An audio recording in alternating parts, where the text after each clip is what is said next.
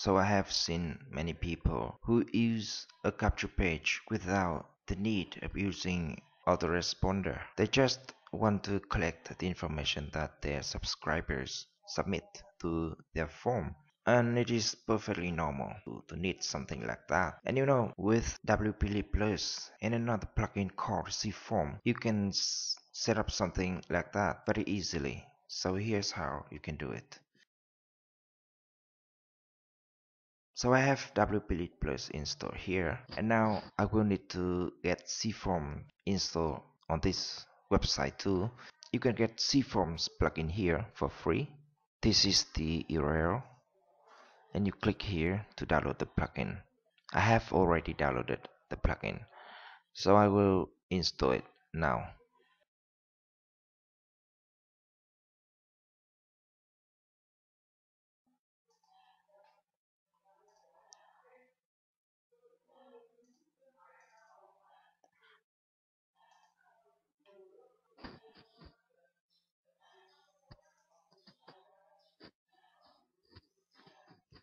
So now we have cForms installed and activated.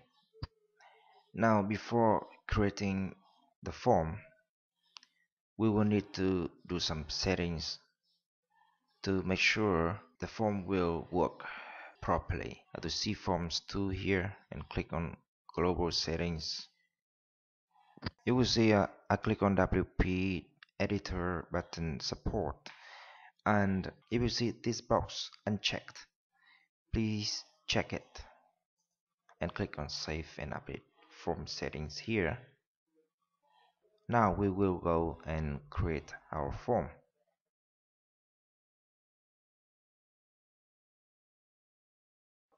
I click on form settings here.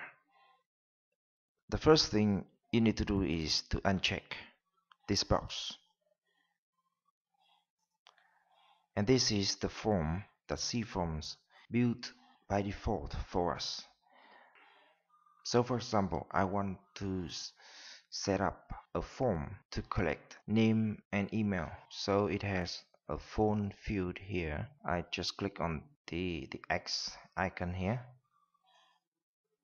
to delete that field the phone field because I don't need it. So now we have the form fields set up. And there are another two settings you need to pay attention to. This is from the core admin email options here. And this is the place you set up a thank you page. For your form the thank you page is the page your subscribers see after they submit their information. So in order to set up thank you page, you will need to click to check this box here and in this field you enter the URL you want the subscribers to see after they submit their information. I just use my home page here but you can set up to any page you want. And the last setting you need to pay attention to is the admin email. This is the email will receive the information that your subscribers submit. So enter your email here and click on save and update form settings. Now we have created our form. Now we need to put the form on a page. So I go to pages and add new. I set up a very quick page here.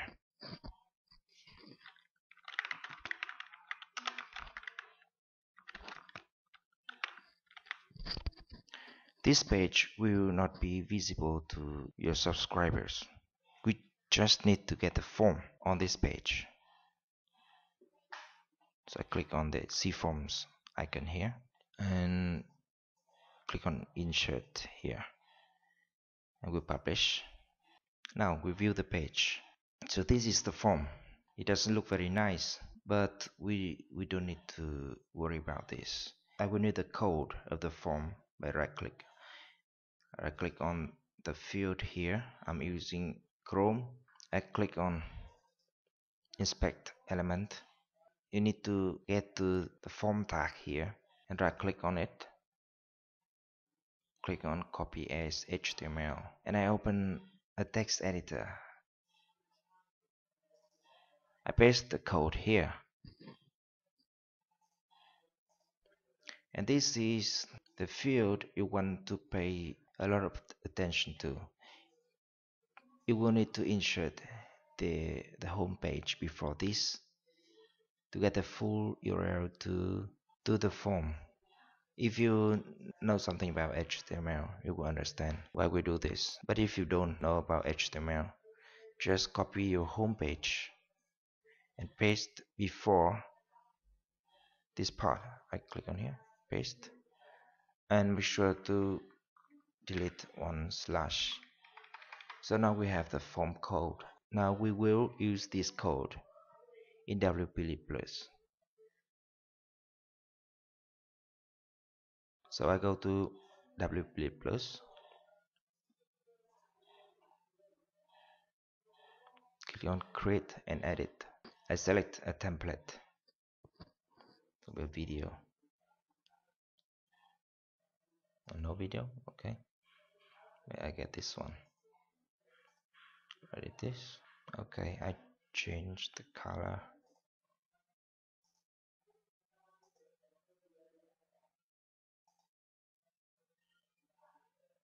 Okay so now I will copy this code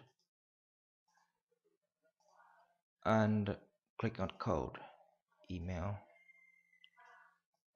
paste the code in I click outside.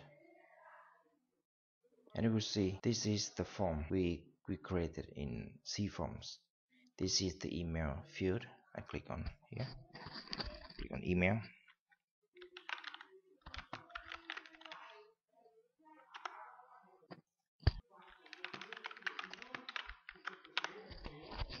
I set a name for it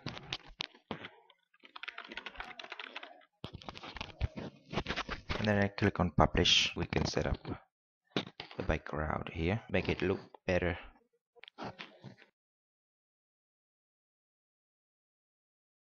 And we will view the page.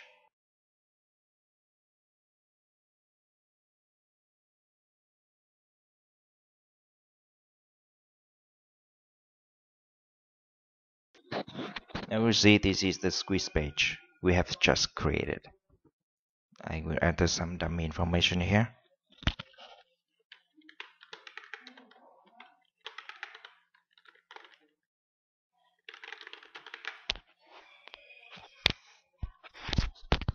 And I will click on this button to submit the information.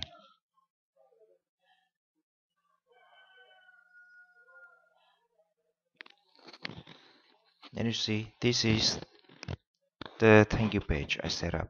Now I'm going to check my email.